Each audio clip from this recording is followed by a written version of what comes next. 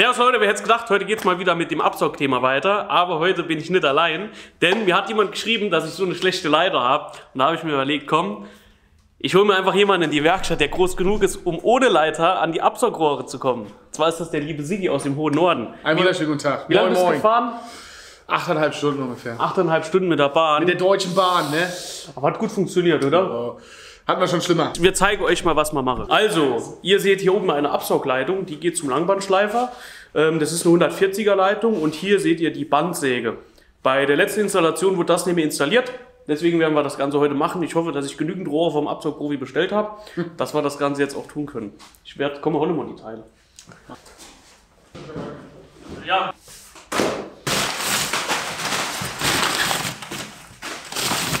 Also, der 100er ist die Standbohrmaschine.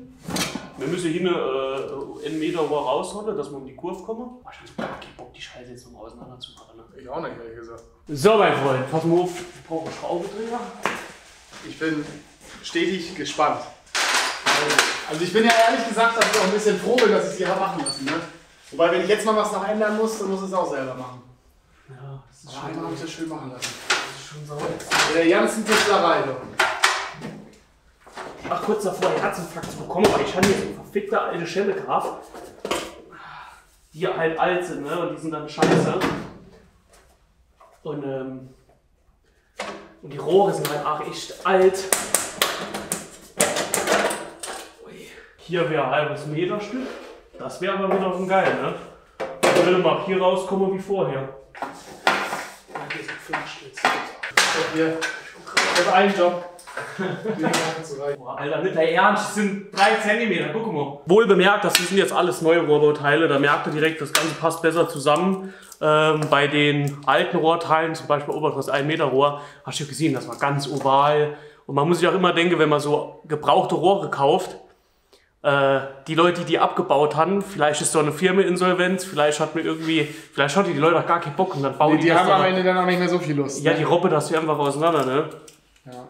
Aber dafür sind sie natürlich um einiges günstiger. Das darf man nicht vergessen. Wobei die 1 Meter Rohre, die kosten ja auch generell nicht viel. Ich glaube, ein 1 Meter Stück kostet 6 Euro. Ja, das geht. Also das was teuer geht, ne? sind, sind, sind Abzweige und Bögen. Und die da kauft man am besten eh nicht gebraucht, weil die kosten manchmal mehr als, äh, als Ja. neu.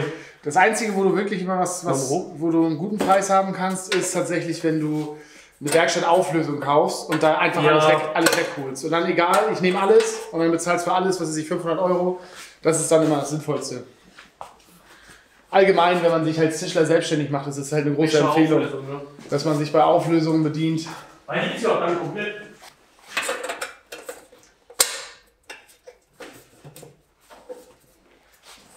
Ja, Ja, der muss als erstes hier. Ah, weg. So.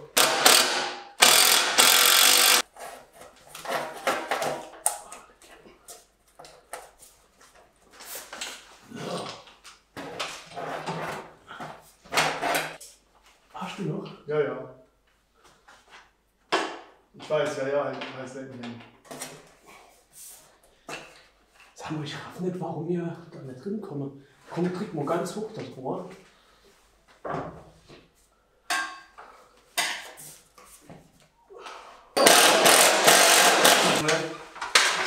Gerätschaften gleich geben. Ja, sehr gerne, Chef. Jawohl, Chef. Das ist ja auch ehrlich gesagt mein persönliches Ziel, dass ich irgendwann hier in der Werkstatt jemanden an. Sau gut. Ich liebe das Teil.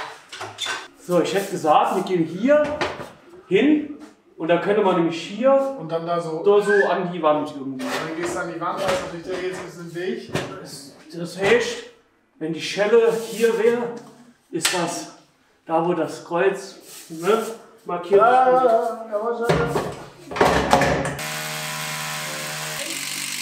Hätte ja gern noch mehr Maschine, dass ich noch mehr Rohre installieren muss, weil das immer so toll ist. Ja, Das ist schon kann ich verstehen.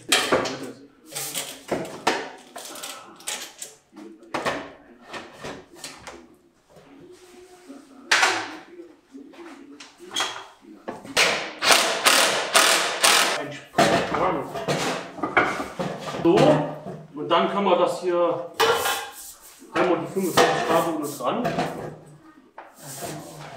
Es gibt, äh, guck mal, dass man da unten gehen, ne? guck mal so, dass er nur ungezahlt die 45 Grad. Also genau.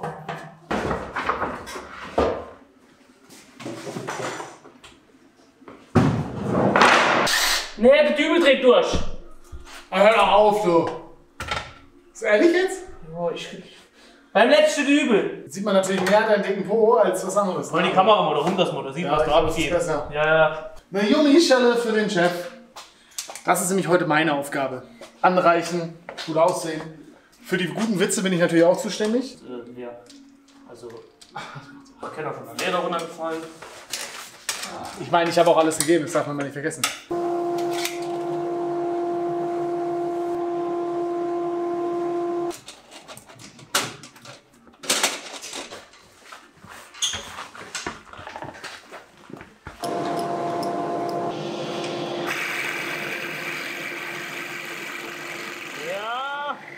Da merkst du jetzt langsam, dass er ein bisschen zu schwach wird, ne?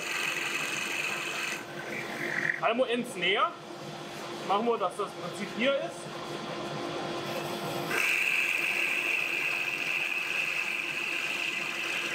Aber zieht trotzdem schon viel drin. Machen wir weg. Der Feinstaub ist weg, ne? Ja, ziehen wir den Schlauch ganz weg. Ja, schon. Vielleicht hier einfach zur Holz, dass man den so verschieben kann. Ja. Und das Tor ist halt geil, ne? Aber du hast halt den Feinstaub auch mehr, ne? Ja, So ein Arm ist. äh, So Leute, also, das Ding ist jetzt final. Wir haben jetzt hier oben einen 45 Grad Abzweig, der geht rüber zur Bandsäge, wird reduziert auf einen 100er Anschluss.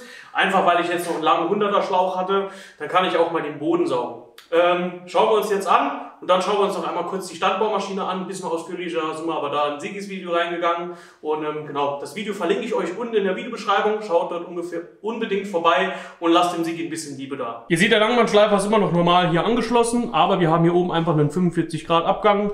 Und hier die Kurve ist jetzt auch schön mit Bögen gelöst, mit zwei 45 Grad Bögen. Kann man das echt gut lösen, wenn man die dann einfach so ein bisschen verdreht, dann kann man auch so etwas andere Gradzahlen an Bögen ganz gut gestalten für euch als Tipp. Ähm, genau, hier ist dann der Konus von 120 auf 100, der 100er Schlauch. Immer ganz wichtig, auch so ein bisschen hier auf den Pfeil achten, dass es richtig oben angeschlossen wird. Und jetzt als erstes mal, wie war es denn vorher? Vorher war hier echt sehr viel Material. Also hier wirklich ein bisschen was zugeschnitten und da war hier unten alles voll. Ich habe jetzt schon einiges geschnitten und das ist nur noch runtergekommen. Ihr seht, das ist jetzt im Moment auch noch mehr als ein Provisorium, aber läuft tatsächlich schon eigentlich ganz gut. Ihr habt gerade gesehen, wie es unten ausgesehen hat. Ich werde mir jetzt mal hier ein Stück Holz schnappen.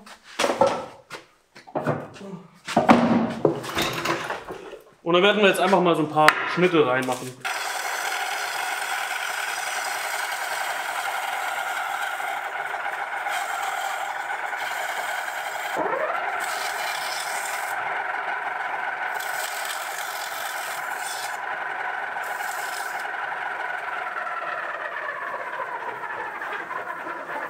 Ich habe gerade im Hintergrund mit Sekundenkleber so einen kleinen Staub, so eine Staubleitung geklebt. Funktioniert richtig gut, ey. Ja? Ja, ja, ich habe extra jetzt hier Geil. unten, äh, kannst du mal her gucken kommen. Klapp mal zu, aber nicht ganz, nur dass der Hebel hier reingeht.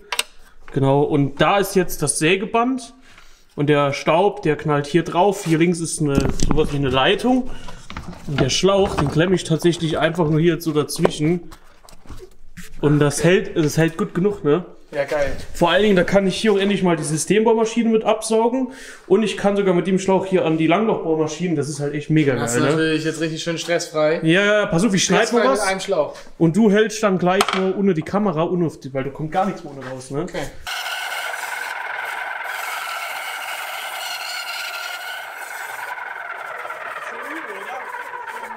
Pass auf, ich jetzt schmeiß dann, jetzt mache ich dann einen Schlauch hier unten drin. Aber das ist natürlich schon, also ist klar, eine Bandsäge, die schmeißt einfach viel. Ja, ja, ja. Das Gehäuse nicht irgendwie abgesaugt Ja. ist und geschlossen ist und so.